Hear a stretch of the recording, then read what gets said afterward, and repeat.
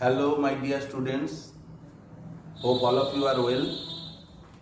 And in my last class, I discussed about the CFT, crystal field theory, both in case of octahedral complexes and in tetrahedral complexes. Okay. Now today we will start the properties of complexes according to this CFT theory, that is crystal field theory. First one we will discuss that is the electronic configuration. Electronic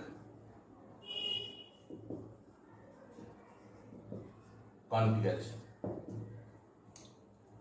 Now electronic configuration of complexes depends upon the crystal field splitting energy that is delta O difference okay.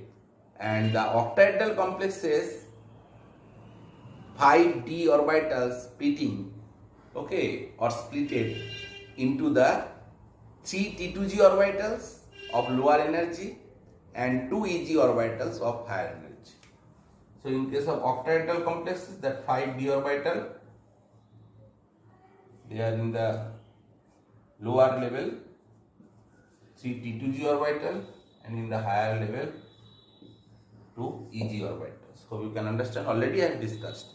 So according to Hund's rule, electrons occupy a set of orbitals of same energy one at a time with parallel spin and get paired up only after each orbital singly filled by electrons. Okay. So if we think about the cases of complexes having up to the uh, 3d electrons there is no pairing so if there is 3 uh, electrons so electrons will fill up in this way. So when there is one electron when there is one electron then only one will come d1 system. When there is d2 then two electron will come. So they are all uh, singly occupied and parallel. They will be not paired okay. But when uh, we uh, in case of D4 and D5 electronic configuration they may get paired okay in the lower energy T2G or may go to the higher energy level and that will be decided by this energy difference that is called delta O. Okay, that means crystals field splitting energy. If delta O is large or higher, then the uh, difference is uh, between T2G and E2G is very high and these are applicable for the strong ligands. In case of strong ligand that C, C crystal field stabilization um, that means not this crystal field splitting energy that is delta value will be higher okay the difference will be very high. So in this case electron will try to remain in the lower energy cell. Suppose it is D5 system then what will happen 1, 2, 3 then energy gap is very high. So in this way they will be paired. Okay and this type of complex is known as low spin complex. On the other hand if the energy difference delta is small suppose if the energy difference is small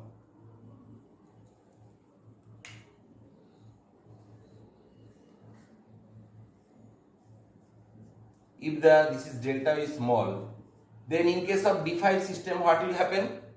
Okay this is the t2g level and this is the eg level.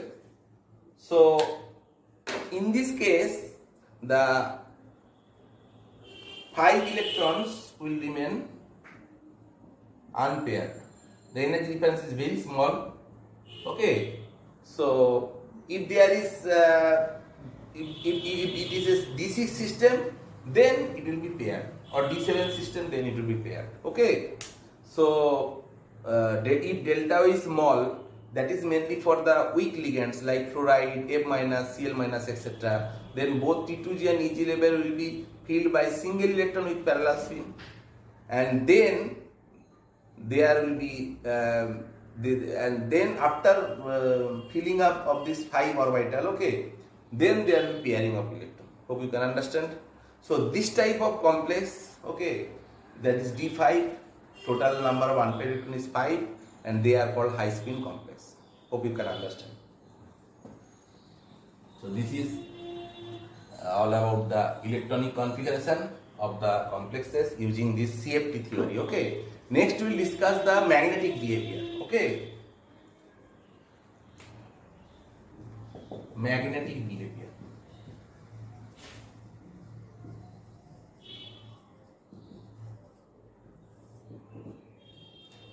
So, if the complex compound contains unpaired electron, then it is called paramagnetic complex or paramagnetic compound. Okay, if the complex compound all the electrons are paired, then it is called diamagnetic complex. Okay, generally high spin complexes, okay, they have more number of unpaired electrons and they are generally in paramagnetic in nature. And low spin complexes, if all the electrons are paired, okay, then it will be uh, repelled by magnetic field and they are called diamagnetic complexes. Okay and the nature of the compounds will be diamagnetic in nature. Okay and this magnetic moment all of you know is determined by this equation that is mu is equal to n into n plus 2 bm Bohr magneton. Okay n is the what number of unpaired electrons okay next we will discuss the color of the complex.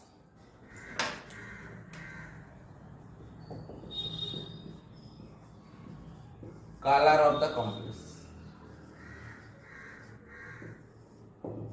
Generally, all of you know that uh, complex compounds are colored. This is because of the DD transition. Okay. That means electrons transition from one lower d energy orbital to higher d energy, higher d, orbital. Okay higher energy d orbital. Okay. Uh, here you can think about the CFT theory. Lower level is T2G. Electrons present in T2G will absorb some amount of energy, will go to the EG level. Definitely there will be electronic transition and that is why complex are color. So when light is absorbed, okay, by the lower energy d electrons, okay, so what will happen? It will go to the higher energy level, okay, and then this uh, splitting of d orbital that is T2g and Eg okay uh, if it is not very large.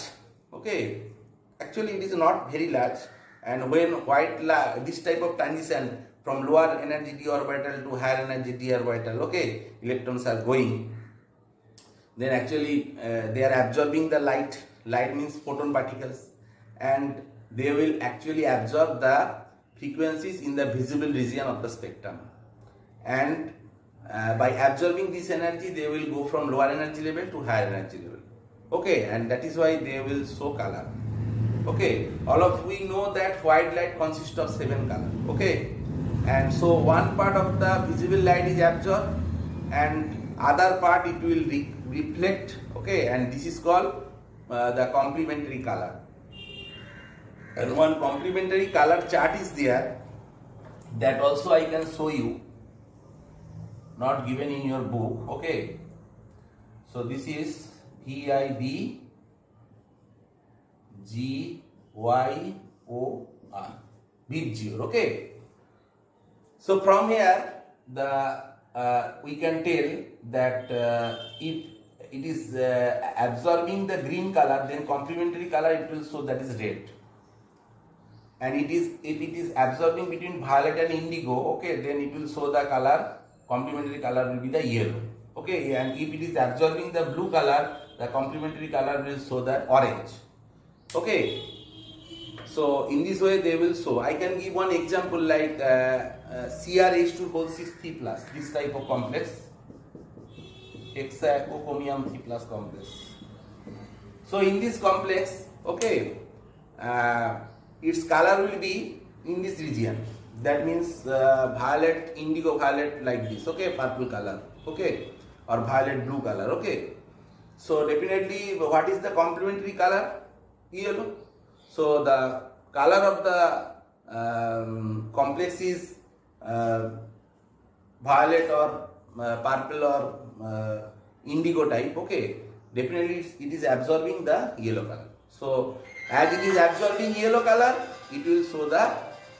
violet color. Okay, so this is the concept. of the complementary color chart. Okay. Sometimes ligands also affect the color of the co complexes. In absence of ligand, there is no uh, crystal field splitting and hence the compound is colorless. We can think about the example of blue vitriol that is CuSO4.5H2. Okay, it is blue in color and when it is in anhydrous, it is uh, white color or colorless. Okay, okay. So why it is happening? Uh, because water is uh, forming uh, when water is present it is uh, forming coordinate compounds with this Cu2 plus and there will be uh, splitting of the d orbitals and there will be electronic transition dd transition and it will show color. But when it will be removed okay water molecules are removed that means anhydrous CuSO4 there will be no uh, coordinate compounds okay formation of coordinate compound and there will be no uh, splitting uh, of the crystal field or we can tell the d orbitals so it will not show any color even if you think about the different types of gemstones okay they are also colors like ruby uh, blue sapphire okay emerald. They are also because of the presence of these transition metals okay and uh, this is because of the d transition. Hope you can understand. So in this way the complex compound okay of transition metal will show color, different color. Next we will discuss the stability of the coordination compounds. Stability. Generally two type of stabilities are there. One is called kinetic stability, another is called thermal stability. Kinetic stability of a complex refers to the speed with which the transformation takes place which leads to the attainment of the equilibrium and thermodynamic stability is a different thing okay actually uh, when we are using the uh, ligands ligands are acting as a uh, Lewis base and metal is accepting electron from ligands and they are acting as a Lewis acid. So the interaction between the metal ion and ligand can be considered as Lewis acid base reaction okay? And stronger the interaction between the metal ion the ligand uh, with the ligand okay higher will be the thermodynamic stability of the complex. Now we can think about the one complex formation. Suppose one metal having the charge L plus. And there are ligands. In number of ligands are there and having charge C minus. And they are forming complex that is M Ln this type of complex it is forming. And suppose the charge is here A plus. Okay, now here we apply the law of chemical equilibrium. So, uh, if the constant is Ks, this is called the uh, stability constant of the complex and it will be equal to the concentration of this product divided by concentration of the reactant. to the power n. Okay. So this is the Ks is the stability constant of the complex. Hope you can understand. And greater is the value of Ks, higher will be the stability of the complex or we can say that thermodynamic stability of the complex. Okay. Next we will discuss stepwise stability constant and overall stability constant okay so there is a relation between these uh, two type of constant. One is called stepwise stability constant and another is called overall stability constant. Here we can consider one complex formation. Like metal is uh, reacting with four ligand and forming that ml4 okay so this is the complex compound. So overall stability overall stability constant we are writing as B4 beta 4 okay? So it will be equal to concentration of ml4 third bracket okay? Divided by concentration of m into l to the power 4 so this is overall stability constant. Next we will write this uh, um, equation that is this one stepwise okay? So first m is reacting with one ligand then it is forming ml So in this case, the stepwise stability constant is K1 and K1 is equal to concentration of ml divided by concentration of m into concentration of L. And next this ml will add with another ligand and this is called K2 that will form ml2 so in this case K2 is equal to concentration of ml2 divided by concentration of m into concentration of L okay concentration of ml into concentration of L then, then ml2 is adding with another ligand is K3 and forming ml3 so here K3 is equal to ml3 to ml2 into L and next we will write that this ml3 will uh, add with another ligand and this is K4 and forming ml4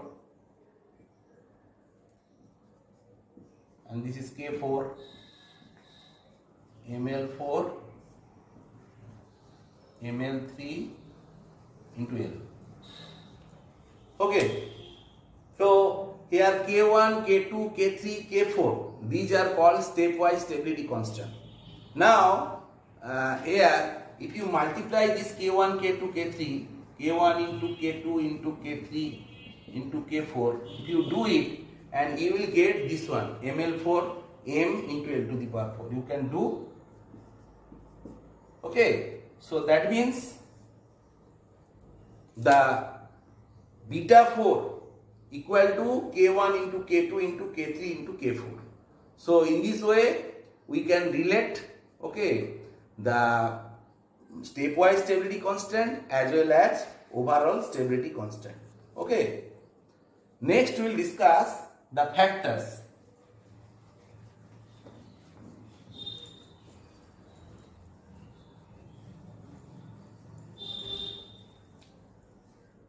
Factors that affecting the stability of the complex.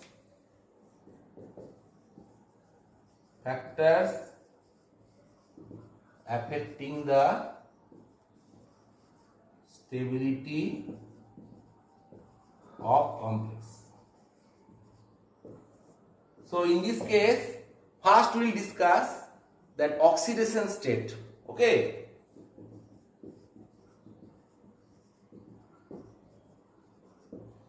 So higher the oxidation state of the metal, greater will be the stability of the complex.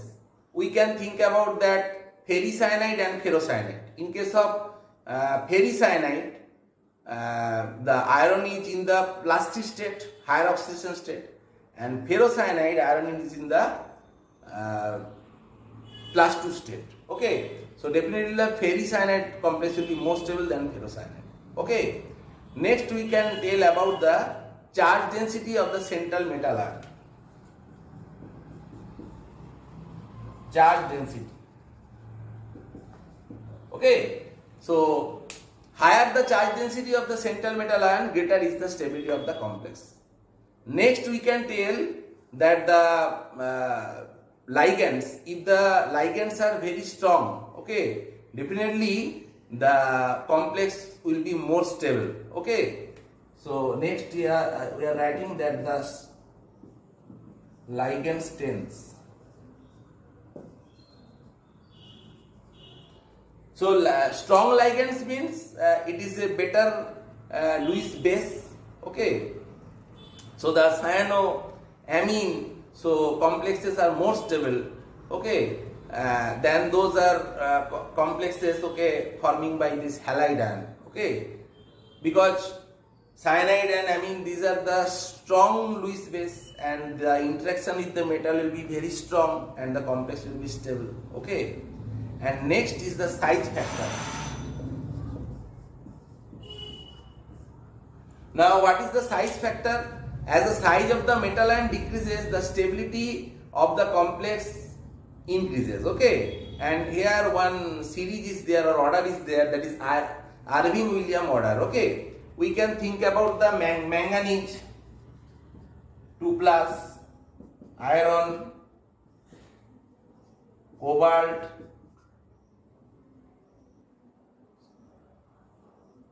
nickel, then copper. From manganese to copper, what is happening? The size decreases, so the stability will increases in this order, and in this order stability increases.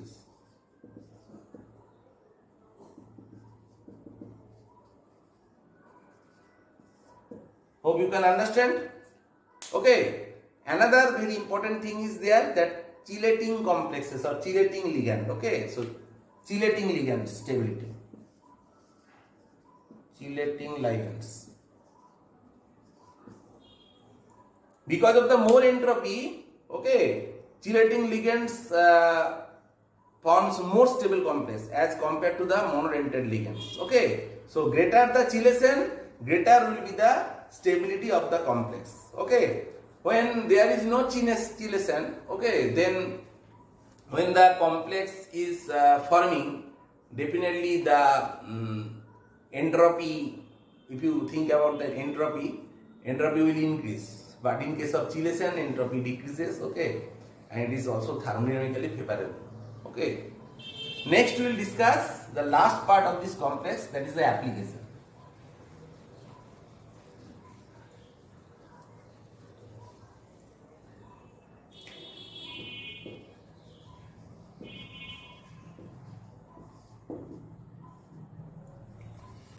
So these coordinates coordinate compounds have huge application. Okay.